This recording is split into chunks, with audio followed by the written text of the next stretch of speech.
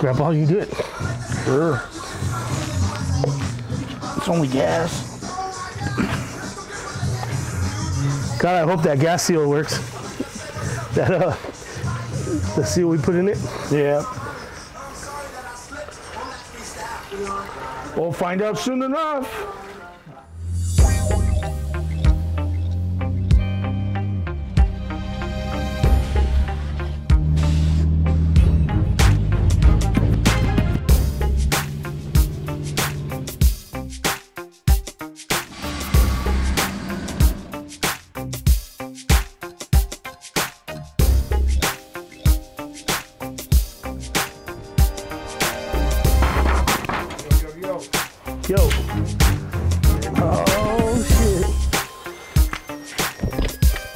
What of this Mostache out here in Downey, California. Little small small town in between the 710 and the 605 right off the 105. This is my little shop.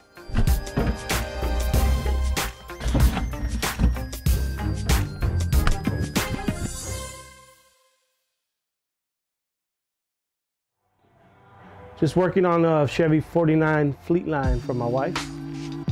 Two door. We got it body drop traditional style. Raise the floor two inches. Brought the frame up a little bit to lay past the rockers. So it lays completely flat to the skirts. All Talk to me, Goose. All right. So, uh, We're in park? yep, in park. Everything looks good. Yeah. You ready? Yeah. Hit it. Stop. What's going on? Turn on the key. Yeah. Are you sure? Yes. Well, then this must, must not be the coil wire. Should at least popped something. I have that plug you have that we need to change up. Yeah, we do. So today's is the first day we tried to start it up. We're running into little problems. The battery got a little low. We're charging it now. Okay, key on. You ready? Keys on? Hit it again. Hold on, hold on, hold on. Ready? Yep. Hit it again.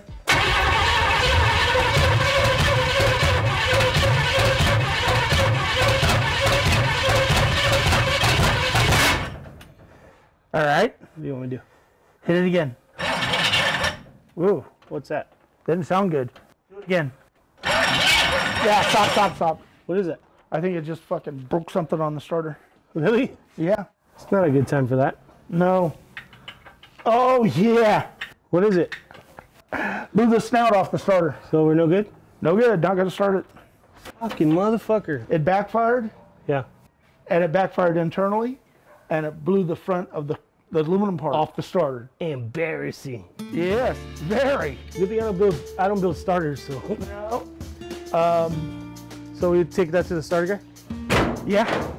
That was a bust. It was. But it, it's always things when you're building cars. It's always things. It's, it's never easy. It's never the road is never easy. Put your hand down there by the trans and wiggle the front of the starter. You'll. It's not hot. You don't have to worry about that. That hurt now. You heard it when it was kicking over. My. Oh yeah. Yep. What causes that? The backfire. We're under three months, though, right? Yeah. Yeah. Yeah. we took out It's warranty. it's We do. We no, do. the guy warranties it for 90 days. So Yeah. Take it back to him. Okay. It may have a fracture. He war- warranted the starter for 90 days, and it's been three weeks. Yeah. Yeah. You should get a lonely teardrop. I'm glad we didn't buy this from Amazon because Amazon would not have it back that quick. No, their turnaround time is 14 days. yeah. You're screwed. Here at Mostache Kustoms, I specialize in suspension work. I'm gonna call the, the starter guy, have him come and take it off, and fix it here and put it back on. I'll be like, dude. Call him.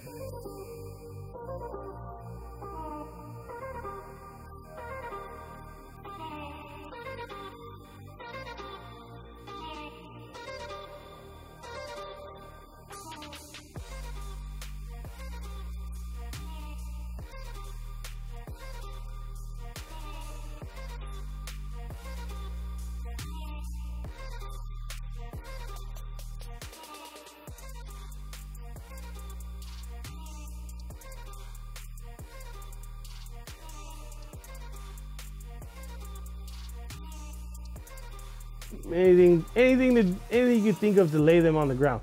Lowering jobs, static drops. It's all in my background.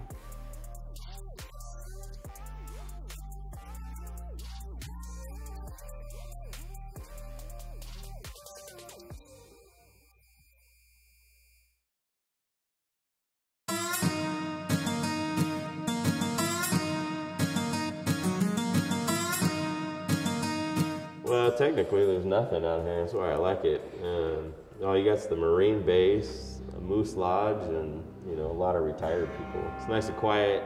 Uh, my wife's parents live down the road, so it's easy to go take care of them. Well, out here around Landers, you got Johnson Valley where they do King of the Hammers all the time. I mean, we're close to the 29 Palms Marine Base, and we're about oh 45 minutes from Palm Springs. We're up the mountain. So you got Yucca Valley's right about 20 minutes down the hill. So you're about two and a half hours from Vegas, cutting out the back. But this is 246 is like the back road to Big Bear and Vegas for everybody. They all like to cruise out here. I'm Glen Dietrich, um, owner of B&G Fabrications. Got my new shop here at home, so now I'm just really working on trucks, building chassis, stuff like that. Uh, currently, at the moment, I'm building Jeff Callahan's uh, C10 uh, chassis. He's got a 74 square body he's building. This one's going with the LSX uh, 454 with the uh, six speed sequential transmission. You got the Winters quick change in the rear, with brakes all the way around. That's my end of it. I know he wants to go some more. I'm waiting for a brand new bed to show up for it. Well, usually I get, kind of get the layout of whatever vehicle I'm gonna be doing. Go from there. I'll either set it up here on the jig table or I'll take body mount notes for whatever I'm building. So we gotta make sure we got enough room because these chassis are also designed to lay frame. They got the Pro Touring style, style uh, geometry to them, so we could run coilovers. And then you could also put in shockwaves.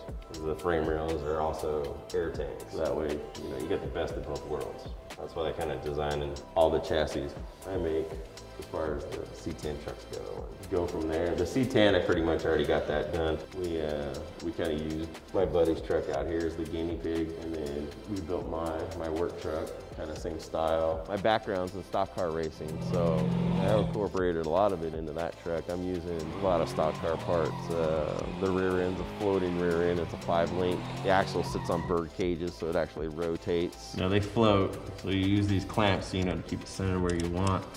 But if you unhook this, hook everything, you know, it'll spin around and stuff. It's fun. You have a lot of fun. It's kind of hard, like I said, it's kind of hard to break the tires.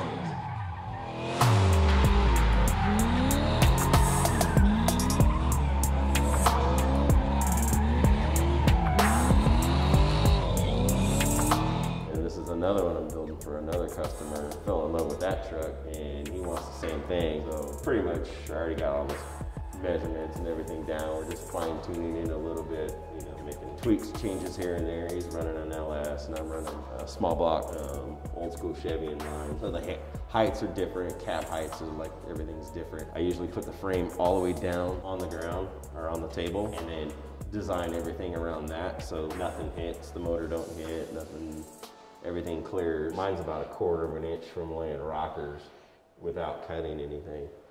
Um, so it'll lay frame and I got about a quarter inch gap before rockers hit the ground, which is nice. I still use it as a work truck, so it's still got to be a little bit practical, but then I get to race it too. So I can't wait for that to come out hopefully soon. So right now I'm just kind of making sure I got enough room for the shockwaves and the coilover for when we swap in and out. Because um, the, the fronts run a double bellow bag on the shockwaves. So I roughly got to have five inches clearance right in here, right at the top Everything else is fine. And then I got this one set at 50-50. I've talked to the guys uh, at Ride Tech and they gave me all the notes and everything, everything I need. That's where I'm going with this one. Just gotta make sure I got room for both. I get the brackets cut out. I still gotta make some. I just gotta make sure I got the right height angle. There's a small uh, square over there, Bracket.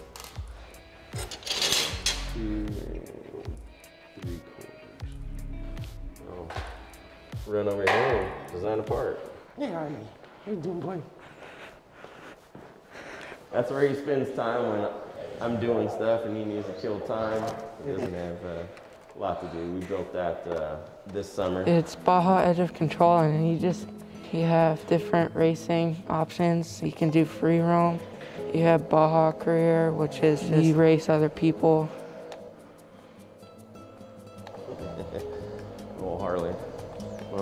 Sure the angle's right. Hate doing shit twice.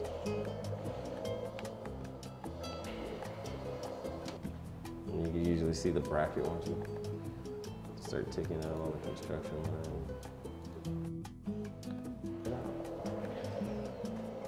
This is a, I just picked this up too, this new table. Uh, right as COVID started too there in Vegas uh, from STV. Been super helpful. I love this new table. We got enough room there. Coach, maybe.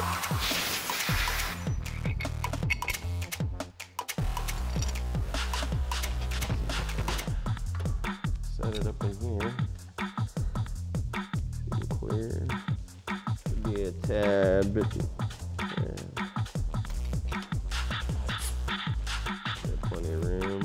Plenty of room for uh, shockwave. Plus the coilover. I want to change that. That's one thing I want to change is bring it up just a little bit more. Find out. Uh, I want to raise it a quarter of an inch. Back to the drawing board. I like to cut lefts and right.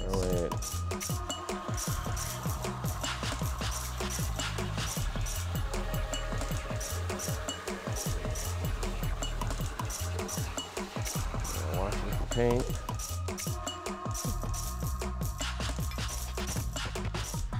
Oh, yeah. Bam. Just like that. Hey, what's up everybody? My name's Tino and we're here at my shop Max Built in Indio, California. Right now what we're working on is getting AccuAir installed on Yoshi's chassis.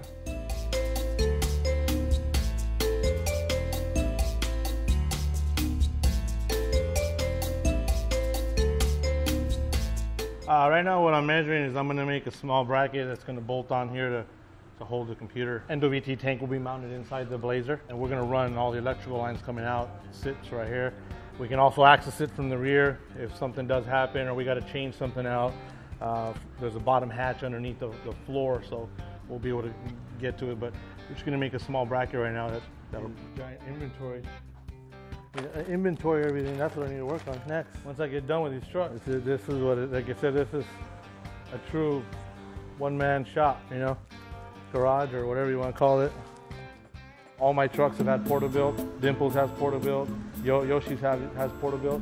Uh, this actually kit that Porterbuilt designed is uh, the first full Blazer kit they, they designed for a Blazer square body Kit K5. Um, nobody had a complete rear kit at the time.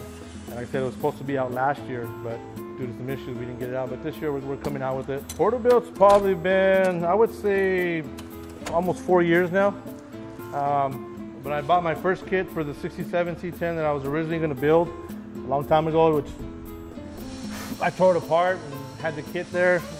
And uh, I decided not, not, to, not that I didn't decide to do it, just decided to go a, a different route. You know, they've just been very, you know, I see them as family. They've supported me from day one where, you know, I wasn't even Max Built. It was just a guy building trucks in his garage. They supported me with helping me out with kids and working with me and, and gave me the opportunity, you know, to build some trucks and uh, use their, their parts. American Racing supporting us with the, they supported us with the wheels on uh, Dead Impulse for uh, SEMA 2016. And this year they're working with us again on Yoshi for 2017. Just I think it's smoothly the classic look for these trucks. It's like a you know, uh, lowrider, everything wire wheels.